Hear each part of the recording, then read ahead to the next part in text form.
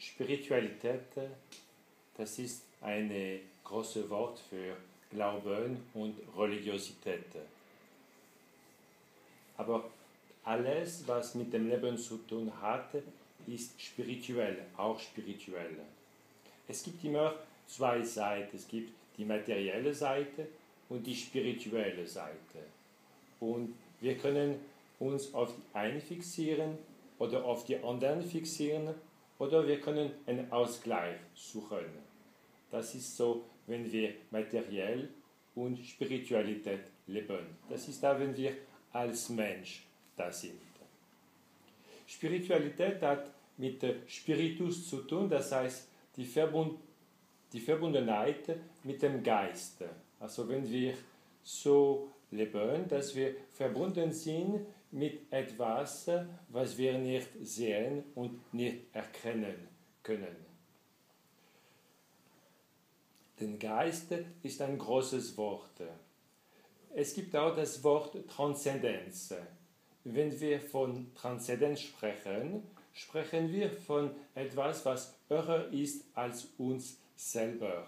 Etwas, was wie ein Macht über uns selber hat. An diese Transzendenz können wir glauben oder nicht glauben. Viele Menschen unterscheiden sich zwischen ich glaube oder ich glaube nicht.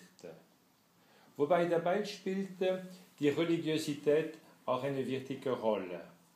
Religiosität, ist, äh, Religiosität heißt eigentlich Verbundenheit. Aber so wie wir von Religion sprechen, hier auf diese, dieser Gesellschaft, sprechen wir vielmehr von der Institution. So gibt es eine Institution für die katholische Kirche, eine für die Reformiert und eine für jene alle kleine Kirche im Christentum, aber auch bei den Musulmanen, bei den Buddhisten und so weiter. Es ist wichtig, diese Differenzierung zu machen, weil wenn wir von Religion sprechen, denken wir in erster Linie an die Institution, mit der wir unsere Mühe haben oder nicht. Wobei die Institutionen sind oft ein Spiegel von uns selber. Sie sind nicht Gott, sondern sie sind Menschen. Also wer in dieser Institution arbeitet oder mitlebt, das sind Menschen. Egal auf welcher Partei sozusagen wir sind. Viel wichtiger ist dabei den Glauben, also welche Spiritualität leben wir. Ich komme auf ein Wort vom Dalai Lama, der sagt, äh, jemand fragt ihn, welche Spiritualität, welcher Glauben oder welche Technik soll ich nachgehen? Und er sagte, geh diejenige, die dich gut tut und dir ermöglicht, besser zu werden. Also in diesem Sinn, wenn wir die Spiritualität pflegen, möchten wir uns äh, entwickeln. Wir wollen, dass es uns besser geht, dass wir ausgeglichen leben und wir möchten, dass wir uns entwickeln. Wichtig ist, wenn wir an dieses Thema denken, dass wir äh, die Geschichte unserer Vorfahren beabsichtigen. Also, dass wir Rücksicht nehmen auf das, was schon in uns gespeichert ist. Es macht weniger einen Sinn, wenn wir Christen sind, Buddhist zu werden. Oder wenn wir Buddhisten, äh, Musulman zu werden. Also es ist viel wichtiger, dass wir das weiterleben, was in uns selber gespeichert ist. Weil es sind Werte und diese Werte pflegen wir selbstverständlich, ohne dass wir darüber oder daran denken.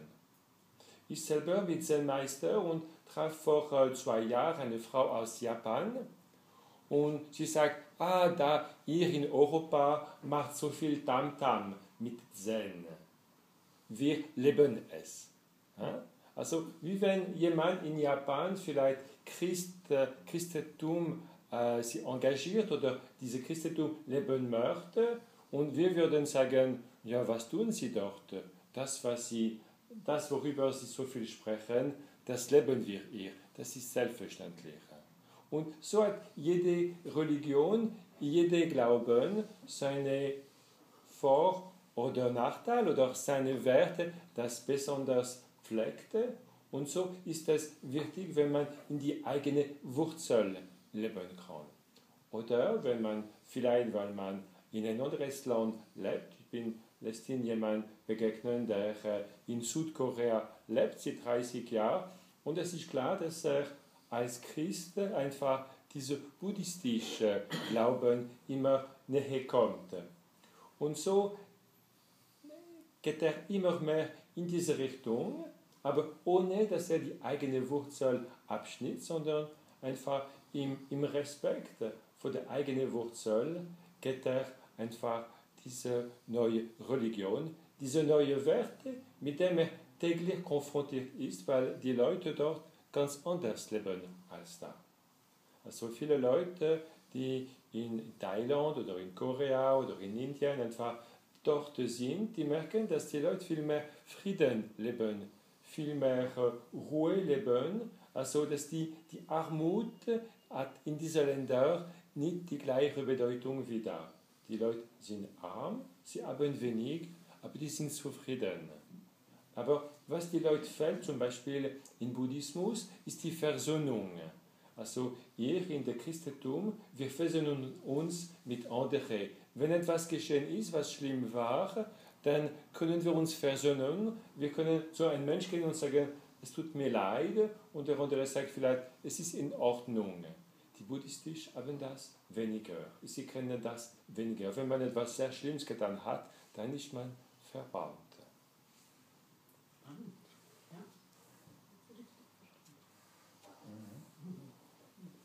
Wenn man von Spiritualität spricht, spricht man oft auch von Mystik.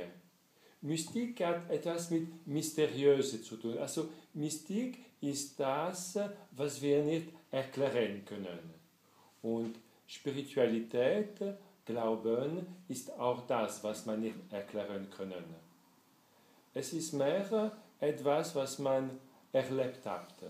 Wenn man die Glauben von seinen Eltern übernommen hatte, dann hat man vielleicht etwas übernommen, was uns geliefert wurde. Es war so selbstverständlich. Aber bevor das eine Erfahrung gemacht wurde, dann können wir nicht wirklich über Glauben sprechen. Erst dann, wenn vielleicht äh, irgendwelche Schwierigkeit im Leben geschehen ist und man hat auf diese Glauben äh, zurückgehen können, man hat sich auf diese Glauben oder auf diesen Gott stützen können, erst dann wird die Glauben, der Glauben lebhaft. Das ist etwas, was in uns als Erfahrung gespeichert ist. Und viele Menschen äh, suchen eher mystische Erfahrung, als sie Glaubenerfahrung suchen. Es ist interessant, wenn man vielleicht äh, ein Abend unter Kerze Licht einfach irgendwelche Stimmung erlebt. Das ist sicher spannend. Aber wenn man eine Erfahrung in den Glauben gemacht hat, wenn man, wenn man die Erfahrung gemacht hat, dass das, äh, was, woran wir uns stützen, uns auch Kraft schenkt, dass es uns auch führt im Leben, dann kommen wir weiter. Und der Glauben ist da, damit wir als Menschen äh, im Leben besser äh, leben können. Also der Mensch ist nicht für den Glauben gemacht, sondern der Glauben ist da für den Mensch gemacht. Es geht alles in metaphysischer Sinn um eine Verbundenheit. Die Verbundenheit mit uns selber oder mit Gott, mit etwas, was ganz tiefer ist. Es gibt so dieses Sprichwort, die sagt, Gott hat in uns seine Samen gelegt. Da spricht man von der Seele oder im Sinn von der Haha. Also diese Miete da, aus dem die Intuition kommt, aus dem wir etwas, äh, etwas erleben, was wir nicht erklären können. Jeder von uns hat sicher irgendwann einmal in seinem Leben eine Intuition gehabt, eine Idee gehabt, einen Wegweiser bekommen, das er nicht erklären konnte. Und um das geht. Also es geht darum, dass wir in unsere Mitte, aber das alles ist ja nur ein Schema, um das zu erklären. Äh, es bleibt sowieso ein Geheimnis. Ist das in unserer Mitte? Ist das in unserer Energie? Kommt das von der Himmel? Kommt das wo? Das wissen wir nicht. Aber die Schema, die Menschen brauchen Schemen und Strukturen, um sie etwas erklären zu können. Es ist oft einfacher, wenn wir erklären können, ja, meine Glauben oder meine Religion oder so funktioniert so. In dem Alten Testament ist es oft geschrieben, wir sollen uns kein Bild von Gott machen. Das heißt, wir sollen uns nicht an etwas festhalten. Auf jeden Fall nicht für immer. Heute ist mein Gottesbild so und sie darf, diese Gottesbild darf sie entwickeln. Und wenn man so das Alte Testament zurückschaut, in diese viereinhalbtausend Jahre, hat sie das Gottesbild einfach immer weiter entwickelt, bis Christus gekommen ist. Ja? Aber auch im Buddhismus heißt es, wenn du in deiner Meditation Buddha begegnest, töte ihn. Ja? Das heißt, mach dir kein Bild von Buddha. Ja? Der Buddha ist ein Mensch, der gelebt hat wie Christus, er hat einfach er ist einen Weg gegangen, er kam zur Erleuchtung und konnte damit sehr vielen Menschen helfen, aber er hat gesagt, im Grunde genommen, äh, vergiss mich, vergiss mich und geht auch diesen Weg. Und auch Christus, Jesus Christus hat auch gesagt, vergiss mich im Grunde genommen, geht denselben Weg und ihr werdet mehr tun können, als ich getan habe. Also viele Schriftgelehrten haben gesagt, geht den gleichen Weg und haltet nicht fest. Aber wir Menschen sind anders. Wir brauchen etwas, an dem wir uns festhalten können. Vor allem am Anfang von unserem spirituellen Weg oder von unserem Glaubenwege. Was dabei eine wichtige Rolle spielt, was den Glauben angeht, sind die Gewohnheiten. Ich sage oft, den Glauben ist wie mit einem guten Freund. Wenn wir ihn immer wieder besuchen, wenn wir diese Beziehung immer wieder pflegen, dann, wenn wir ein Problem haben, wird uns diese Freunde helfen können. Mit dem Glauben ist es dasselbe. Wenn jemand den Glauben immer vergisst und wenn er ein Problem hat und plötzlich sagt, hey Gott, wo bist du? Dann ist Gott nirgendwo, weil er ist nicht wirklich da in uns. Und äh, die Gewohnheit, das ist zum Beispiel, früher ist man viel mehr in die Kirche gegangen, das war so eine Gewohnheit. Ich will keine Werbung machen für die Gottesdienst. Es hat das, was es hat, aber es geht um die Gewohnheit. Wo bekommt man Nahrung für unsere Glauben und für unsere Spiritualität? Das kann in die Kirche gehen sein, das kann der Besuch vom Gottesdienst, vor Meditation, vor Gebet, es kann stille, schweigende Meditation sein, es kann Gebet, die schon existieren oder Gebet, wenn man selber geschrieben hat. Oder es können Lieder sein, die wir einfach immer wieder singen und die uns mit ihren Worten, ihren Satz, ihre Aussagen stützen und dann helfen, wenn wir es gerade brauchen. Und das ist das, was ganz wichtig ist in die Art und Weise, wie wir unsere Glauben pflegen, wenn wir irgendwelche Form von Glauben pflegen möchten. Es gibt äh, diese göttlichen Glauben, aber es gibt auch einen puristischen Glauben. Ein puristischer Glauben ist das, wenn ich sage, wenn du einen Baum pflanzt, glaubst du, dass dieser Baum wachsen werde. Ja? Und das ist der Glauben an dem Leben. Ja? Wenn du ein Geschäft aufmachst, glaubst du, dass du irgendetwas wirtschaftlichen wirst, dass du einen Umsatz machen wirst, dass du davon leben wirst können. Das ist die glauben am Leben. Also wenn ich einen Baum pflanze, dann glaube ich irgendwie, dass dieser Baum wird wachsen, sonst müsste ich es gar nicht pflanzen. Also wenn der Bauer einfach sagt, egal was, er glaubt daran, dass das wachsen werde. Und so ist der, der puristische Glaube, ist es das, wenn ich unabhängig von irgendwelcher Entität, irgendwelcher Transzendenz, irgendwelcher Gott, denen ich einen Namen gibt, einfach an dem Leben glauben.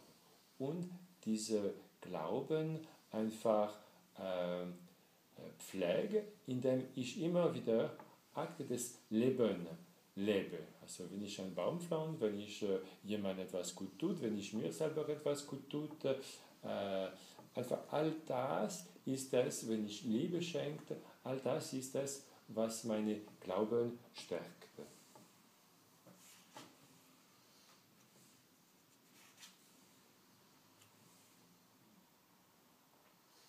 Und dann kommt das Thema von, von den Werten, den wir pflegen. Jeder Glauben äh, hat bestimmte Werte. Und die Werte, den wir pflegen, ist oft das, was uns im Leben einen Sinn gibt und uns auch glücklich macht. Welche Werte wollen wir pflegen? Wir können nicht gleichzeitig alle Werte pflegen. Es gibt so viele. Aber wir können uns an einige wenige Werte halten. Oder wir können sagen, diese einige wenige Werte, sei es beruflich, sei es privat, sei es im, in, in der Partnerschaft, möchte ich pflegen. Ich hatte gestern eine, eine Architekt, der mir gesagt hat, das sind so die Werte, die ich pflege in meinem Beruf. Und das ist das, was ihm ganz viel einen Sinn gibt. Werte, die ich pflege, sind äh, Liebe. Aber Liebe ist ein großes Wort. Ist einfach Liebe ist das für mich, wenn ich sage, du bist okay, wie du bist, ohne Wenn und Aber, und ich bin da für dich. Das ist so eine Werte. Aber eine Wert ist auch Versöhnung. Einfach, ich bin ganz fest bemüht seit Jahrzehnten, dass ich versöhnt bin mit mir, mit dem, was ich gemacht habe und mit dem anderen, mit das, was die anderen gemacht haben, auch wenn es mir das vielleicht verletzt hätte oder so.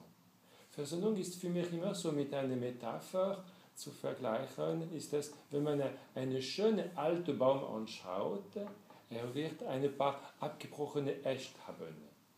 Und trotzdem ist er ein ganz schöner alter Baum. Und der Baum ist versöhnt mit sich. Er versöhnt mit jenen Ästen, die durch einen Sturm oder durch, durch einen Blitz oder irgendwie oder durch eine Krankheit gebrochen sind.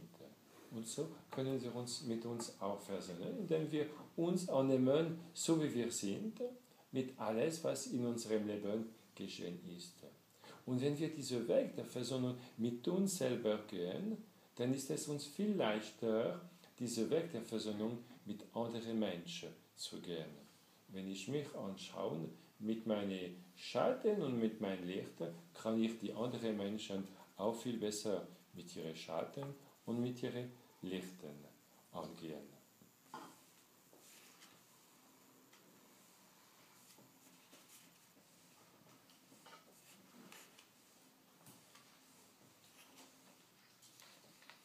Was für mich in deinem Glauben auch eine wichtige Rolle spielt, ist so, was man nennt, die Begeisterung. Also, dass in uns etwas lebt, was uns Lebendigkeit schenkt. So eine gewisse Leichtigkeit. Können wir das Leben entgegengehen mit Freude, mit Frieden? Können wir vertrauen? Können wir uns zurückschauen und vielleicht uns sagen, ja, ich wurde gestützt. Auch wenn es schwer war, das Leben war da für mich und ich wurde gestützt. Und wenn ich in der Vergangenheit gestützt wurde, dann werde ich in der Zukunft auch gestützt. Also irgendwie gibt es immer einen Weg, es gibt immer eine Möglichkeit, dass sie geführt wird. Und einfach realistisch zu sein, wir sind da als Mensch auf der Erde und nicht im Paradies. Warum es so ist, wissen wir nicht. Das ist ein anderes Thema, das ist ein metaphysisches Thema. Aber wir sind da als Mensch und wir sind da, um Mensch zu sein. Besten Dank.